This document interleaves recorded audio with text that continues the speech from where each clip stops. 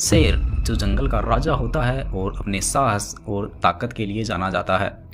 और Komodo dragon, जो अपनी क्रूरता और भयानक तरीके से शिकार करने के लिए जाना जाता है। क्या होगा अगर ये दोनों जानवर आपस में लड़ते हैं?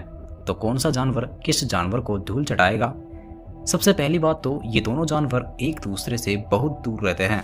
शेर अफ्रीका में रहते हैं और कमोडो ड्रैगन इंडोनेशिया के कमोडो आइलैंड पर। इसीलिए इनके लड़ने के चांसेस ज़ीरो के बराबर है।